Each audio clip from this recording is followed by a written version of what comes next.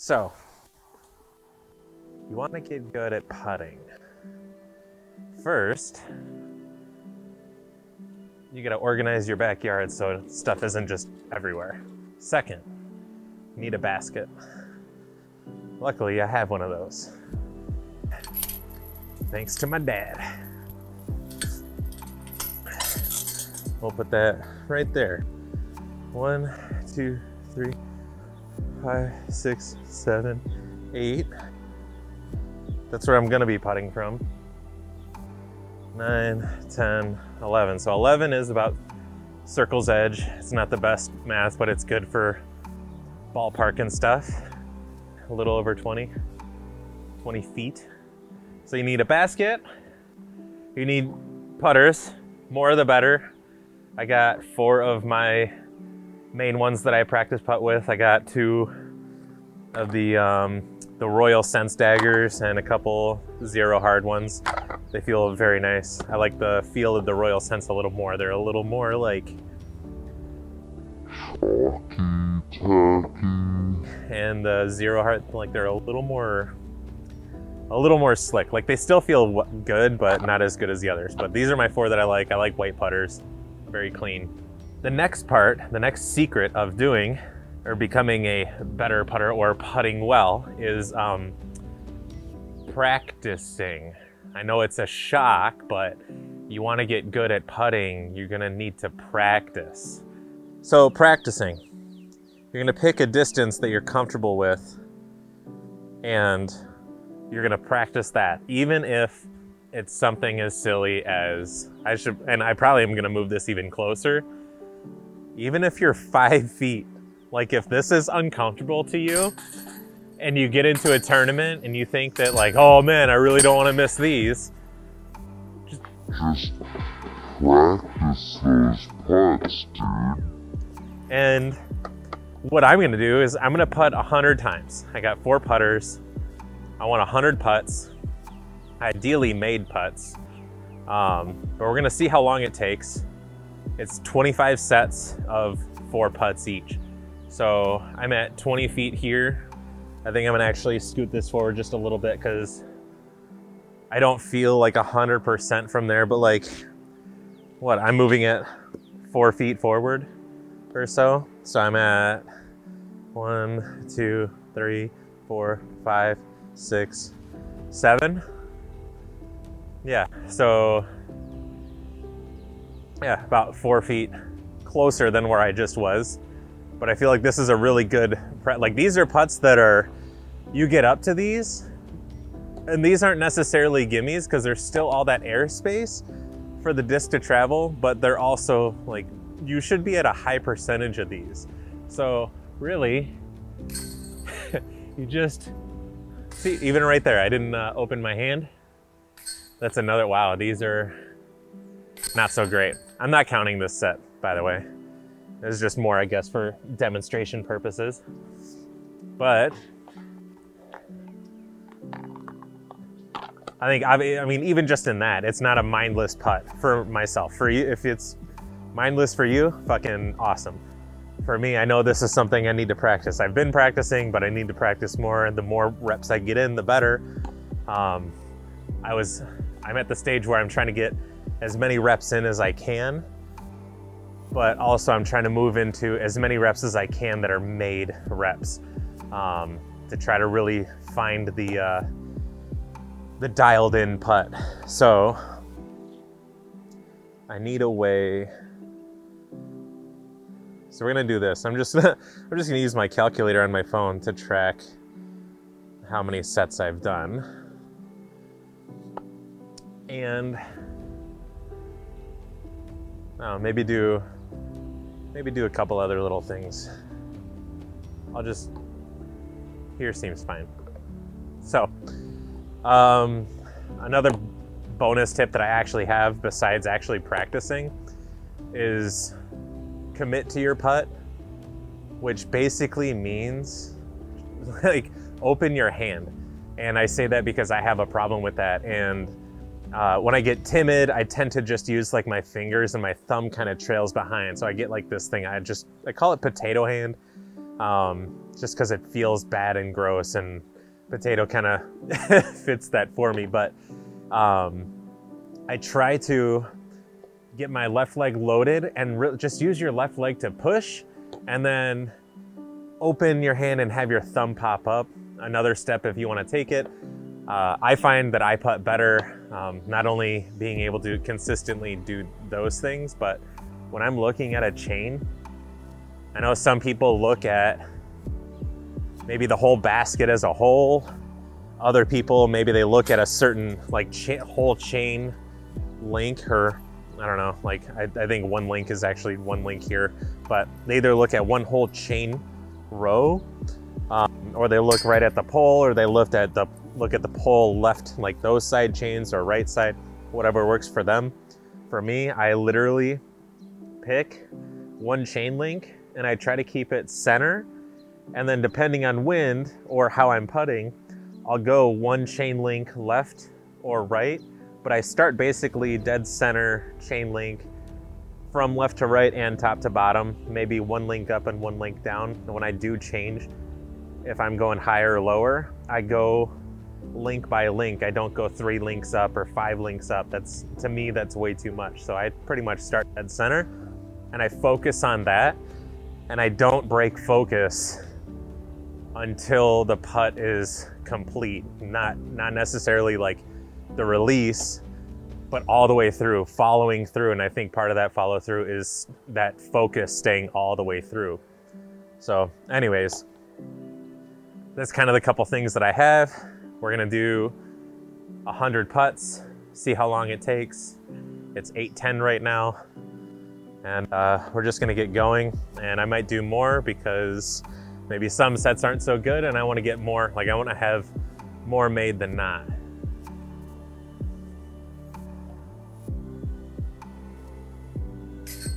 Yeah.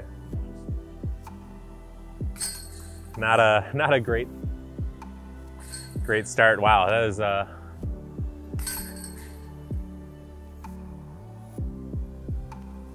See, for me, I'll count it. I think that just means I'm gonna at least do one extra set. That's more or less a warm-up set to try to get the feel of things, get in the groove of it and should be getting better along the way.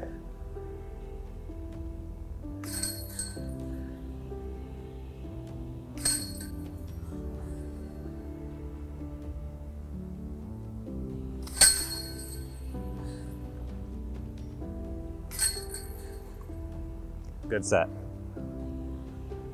Feels a lot better, a lot more natural.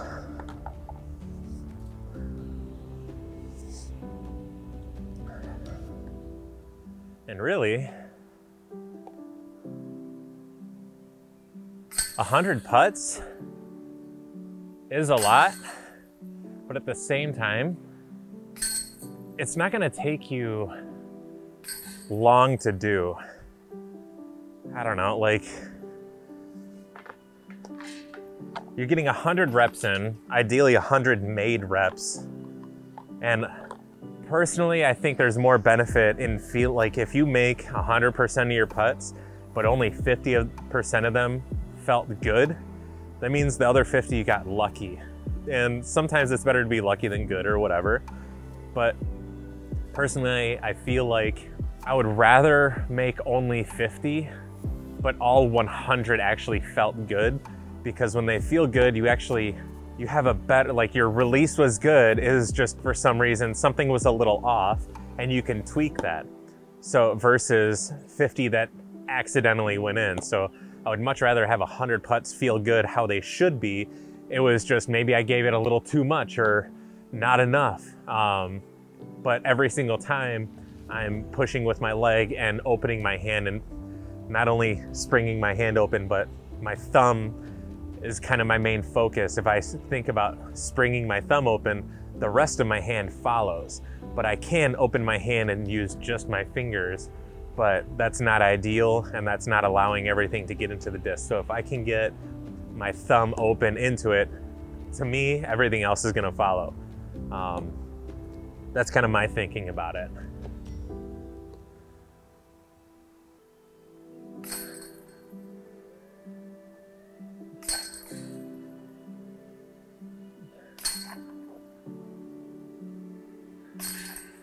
I think another important thing too, I think with a lot of sports, creativity is a huge part of it. But in part of that creativity, having the ability to almost literally see the shot that you're trying to make actually happen. Because if you can't see it, it's really hard, I, for myself at least, to commit to that shot, what be it a putt, drive, um, upshot, really anything. That was a bad one. I did not.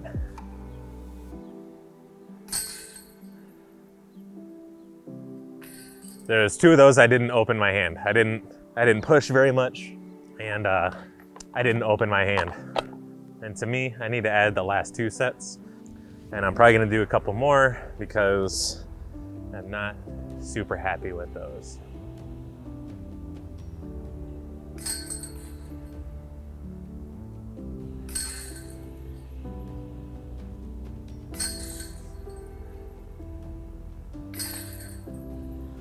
I think another thing I got as I'm doing this and thinking about it more is learning how to also feel the distance. So there's no sense in really like loading up this putt and giving it 50 per, like 50 feet of power if you're 20 feet away. Because if you do miss, because it's bound to happen, you're gonna miss here and there. Um, but ideally giving it the best chance of going in. But if and when you do miss, there's no sense in giving it 50 per, or 50%, 50 feet of power on a 20 foot putt, where in theory, you're gonna be going 30 feet past.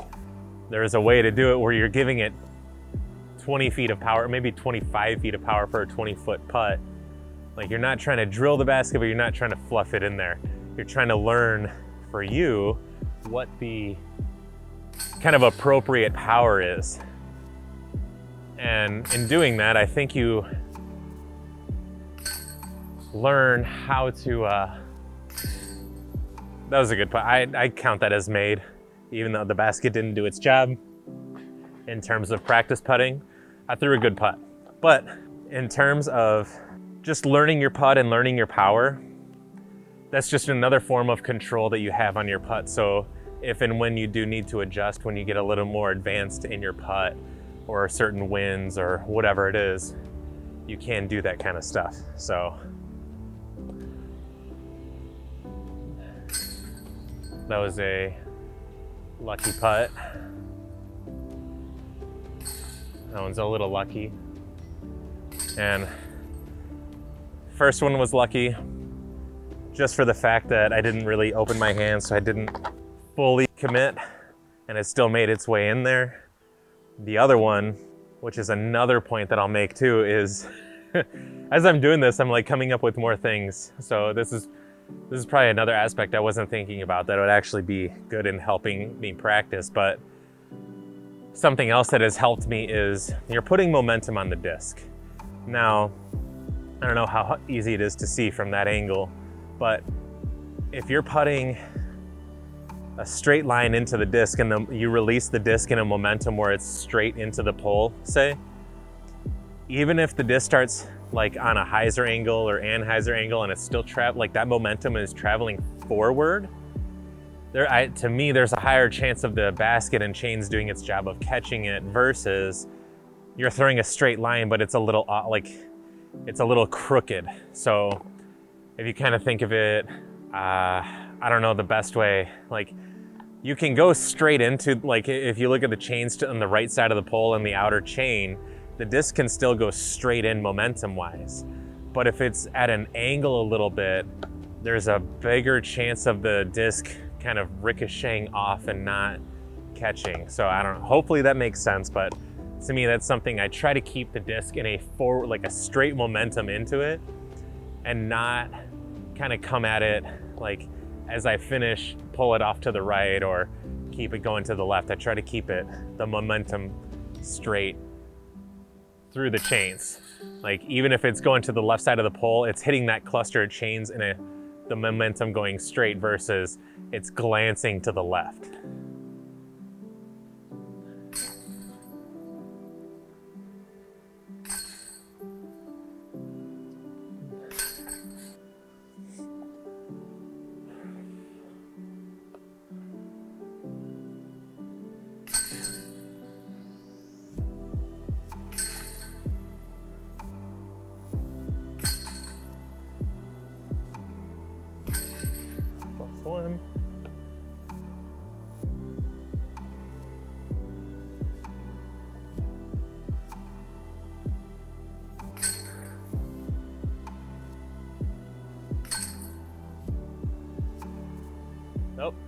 See that one? I pulled that one off to the right. And then I overcompensated and then I just fluffed it to the left. Instead of just instead of just over uh, instead of just doing the same putt and committing, I just compensated for having thrown a bad putt. But you learn. Live and learn.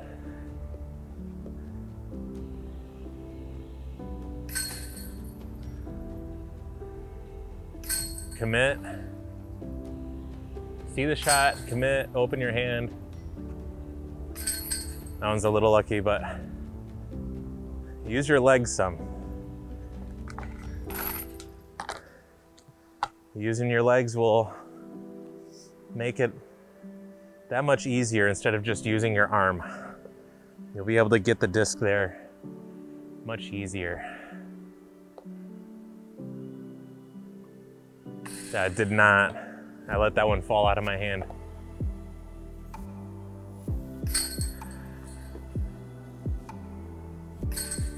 Hi.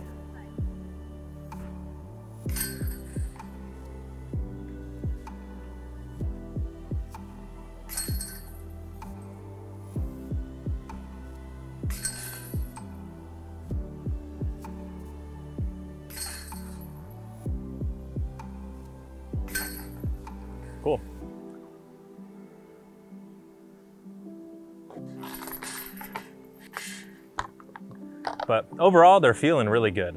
Not super primo where I was at with uh, when I was putting really, really well. Um, I don't know, at this point, a couple years ago, but I know it's still there. I know I still have the uh, body memory of it.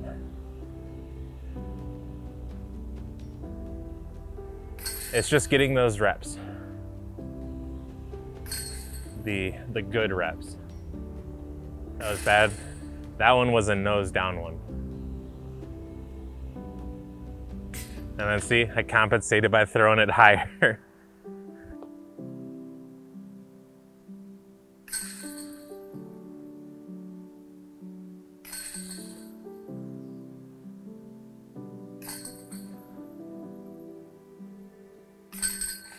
I believe that is 15 sets roughly.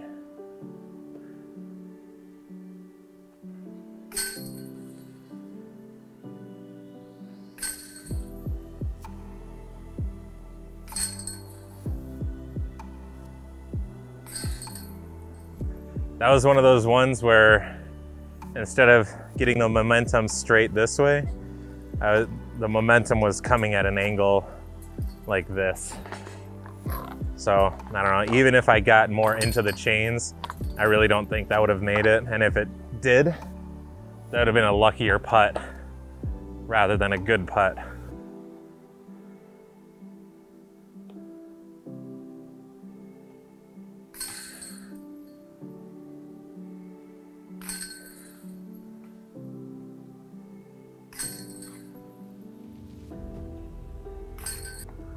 Not bad, not bad.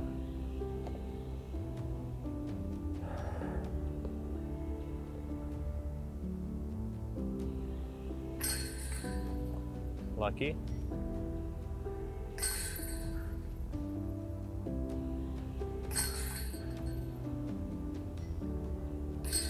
That one I did not. I'm sure in the video you can see that one. I didn't put anything forward. That was just uh, that was some lofty, lazy bullshit that I just did right there. Yeah. All right, that one's a little high, but that's in. I'm not upset with that.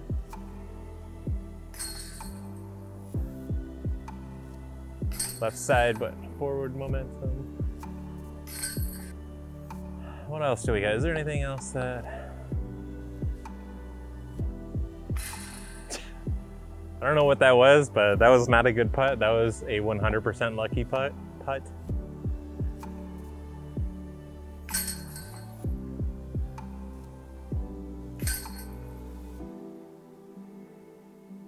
There we go.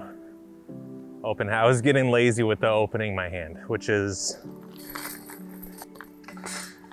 in my opinion, my biggest problem. When I tend to mess up my putting, I don't know. That is the one thing I need to focus on is just opening my hand, which allows me to pop my hand open, which allows all the momentum to go right to my disc. And I need to learn on not even necessarily just trusting that, just trusting myself to do that. So that one was a good feeling putt. It was just an off angle.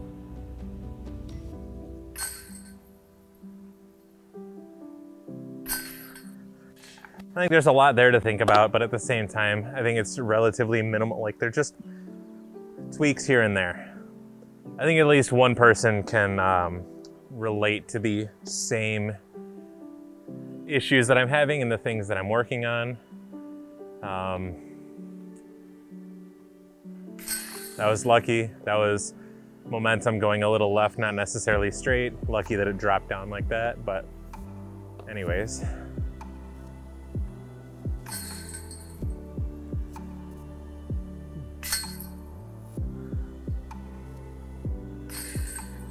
So the one that missed, I would count that as a miss because I hit that up here with a lot of momentum, which is more or less how it works in my head. Just like this, the left side is gonna glance off and go left and this will glance right. This essentially glances down and the chains almost instantly push the disc back because they reach tension super fast and just will smack it down right there. So it was a good feeling putt. It was just too high. All right, Alright, that one was the elusive potato hand, but not so elusive. The uh, dreaded is a better word.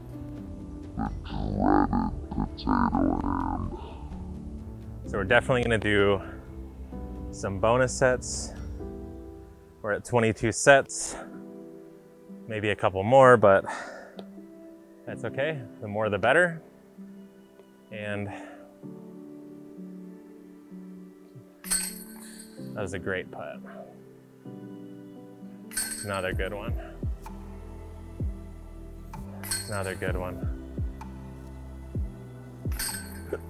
Another thing I was thinking about, there's a lot coming to me, but I feel like with a lot of other players who have their putt relatively dialed or know their putt well, have the ability that as soon as you throw your putt, and if it's, there's like a couple stages to it, once you throw your putt, you can determine whether you threw a good putt, like a good feeling putt. And then once that, if and when that's checked off, you can then almost guess with high probability whether you made the putt or not. Um, and that comes with the comfortability of the distance that you're putting from. Um, I feel like for sure, basically anyone or everyone who is wanting to get better at disc golf and become a better putter, once you get to being able to be comfortable at working on your 20 foot putts, 20 to 25 foot, whatever this is, you will have a really good ability to know one, when you have thrown a good putt, and two, whether you've made that putt or not before it's even come close to the basket. And I, at least for myself, more times than not, especially when I'm really dialed into my putt, I can guess with high probability. And I'm right more times than not. And it's not a gloating thing, it's just you are connected with your putt and how your game is, what your game is, and what it is you're trying to do, and matching the outcome of your release to what you're seeing in your head. Um, so I don't know, like I think that's a that's a good goal, I think, to kind of strive for as well when it comes to putting better. So I'll try to start calling them out. Like, that's good. That's good. Good. 24 sets right now. And I'm probably gonna do five more sets is, is the goal. Good. Good. Nope, not good. Good. Lucky. That last one was short armed. This one, the one that I caged, I think I called, I tried calling way too early because I was, I don't know, I got a little cocky, I guess. Because as soon as I said good, and then actually in my head I answered, I knew it was gonna be low, but whatever, that's okay. That's 25 sets, we're gonna do at least, at least five more. We're gonna really, really try to focus up on these ones. Good. Good. Good, yeah. Good.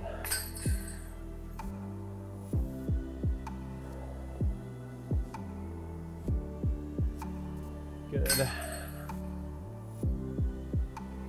Lucky. Good. Another one that I've heard tip wise when putting is essentially you're throwing a one pound weight or like a textbook or something. If you're gonna go throw a textbook onto like, like at your buddy to catch or whatever. I think sometimes people can get too caught up in the, in the flight of the disc and like all this S turn and whatever.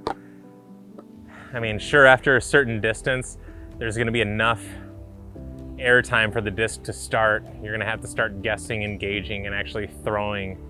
Like, I don't know if you're gonna go try to putt like a 60 foot putt or more, um, depending on how you putt, you're gonna have to give it more everything, more height, more speed, more spin, uh, maybe more of an S turn. Uh, there's all sorts of different variables.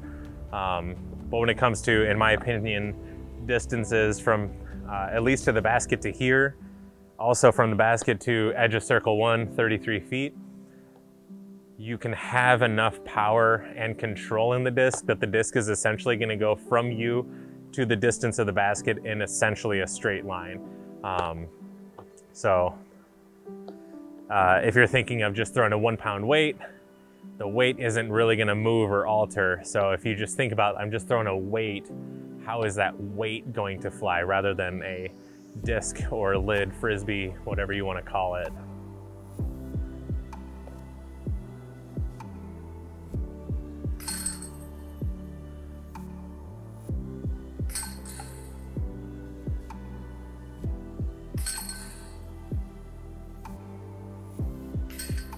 That one came out of my hand a little funny.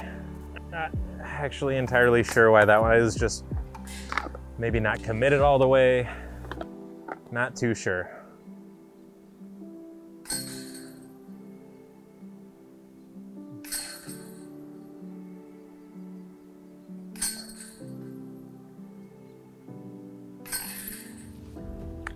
Out of here, mosquitoes. Doing at least the last one here.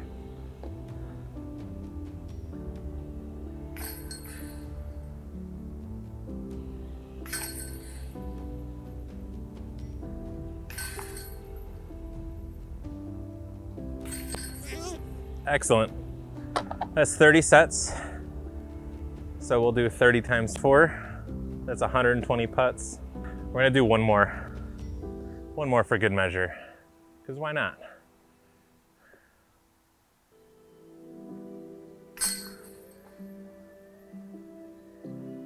Yeah.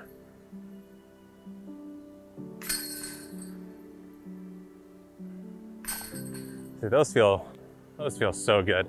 So 124 putts, maybe slightly more actually thrown.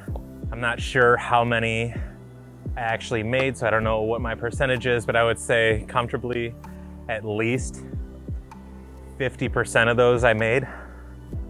Um, I missed some, not that many, more than I would like though. I would like to be in, in that distance, I don't know, probably like 90% easily. I would like to be in 90% from here. Um, really, I think the only reason that I would not want to be missing, but the only reason I would like to have for missing these putts is I misread the wind or like something wild happened, like the basket didn't do its job of catching the disc, or I maybe putted it a little too hard. Um, but uh, even still, ideally, like I want to be making, if I actually had 100 daggers that felt great, I'm making at least 90 of them in there. Um, so, with that being said, if you've made it this far, thank you for watching. Um, I'm gonna try to do a bonus little something. I got this, this little card game and I'm gonna pick one at random here and I'm gonna answer it for myself. Normally it's for others uh, to work on like communication and getting to know one another and stuff like that. It's a, it's a fun little game. So give it a couple little shuffles. We'll cut right here and then we'll flip the top one here. So what is a moment in our relate, oh wait. Okay, I don't know if I can answer this one. what is a moment in our relationship that you felt undeniably loved? Um, well, it's you guys, and I don't know. I feel loved anyways, but I want to. I want to actually answer one. Um, that's good. What do you crave more of? Um, honestly, it's more disc golf in my life. Life has been tough all throughout, uh, especially uh, as a like these last 10 years in total has been um, wild and most definitely the last couple years. Um, I lost my mom during COVID, had to move. Family tensions have been very, wound very tight. So there's there's just been a lot going on, and honestly, I haven't disc golfed as much as I normally have. So I kind of crave it more. Um, currently, I'm working at Amazon, and it's good money. It's not something that I want to be doing uh, long term, but as of right now, it's good money. Uh, I get to work by myself. I have little interaction with my bosses, which isn't bad. And I get out at a decent time. I get done roughly, done and home roughly by 5, 5.30 at the latest usually. And especially during springtime right now, like it's almost nine. I, I meant to look at the time to see how long it actually was to actually do these 100 odd putts. But I've let a lot of things get in my way of disc golfing and keep and really honestly just talking myself out of doing a lot of things. Uh, even doing this video here, um, we went to go see the new Fall Guys movie, and then we went to uh, downtown Rochester at La Pumas, which has really good, they've been there since I believe the 50s or have been there for over 50 years. They're really good, so if you know what I'm talking about or from the area, definitely check them out. Anyways, on the drive home, I was in mentally just going back and forth like, I really want to do this, oh, but it's late and we still got to work out and do an ice bath and blah, blah, blah, and this and that and whatever. And then, well, no one's going to watch the video and yada, yada, yada. And really just like internally trying, I don't even understand why, but just really trying to talk myself out of it for whatever reason. So instead of letting myself do that, I just instead just threw on my mic, grabbed my camera, set it up, and just started talking, which was kind of my idea is I want to just start doing things. And also, why listen to me um, in terms of disc golf uh, tips and tricks or this and that and whatever. I'm not anyone special in the sport, but I think I throw the disc well. Um, I used to be sponsored by Latitude, was sponsored by Westside, um, a couple other smaller sponsors from the local area, one of them being Disc Baron, who's an amazing guy. So if you're watching this, Jacob, shout out to you for everything you did. And I'd love to talk to you sometime, maybe in the future if something works out, um, maybe in some future content creation. Part of why I'm doing this is I want to do something, I want to give back to the sport that has given me a lot of joy and happiness. Um, and in showing me that I'm like I typically am pretty good at fucking, fucking, fucking, fucking, fucking, fucking, fucking awesome. Fucking awesome. Fucking awesome. I was fucking awesome. Fucking, fucking, fucking awesome. Fucking, fucking, fucking awesome. I was, I was fucking awesome. I was, I was fucking awesome. Here seems fucking awesome. Rip it tight, aim it right Release it with all your might Watch it soar. Higher than before One perfect throw, let's win this fight. Keep your form, don't get torn Snap your wrist, feel it twist. Visualize, focus your eyes. Mental game, strong, don't resist. Straight lines, perfect finesse Find that spot, you know the address Power drives, go in the distance. Precision shots, avoid the mess. Throwing this with Zak Perfect day in the sunshine. Watching them fly, don't you dare look away. He's the master of golfing, showing us the way. Teaches us the technique. Step by step, so we can play Gather round, listen close He's got something to say. Hold that disc with the grip that won't stray. Wind up and release, just follow its sway. Watch it soar and curve, we're learning the right way. Disc golf delight, we're flying high Zak's teaching us, reaching for the sky. Disc golf delight, we're loving the game. With Zak by our side, we'll never be the same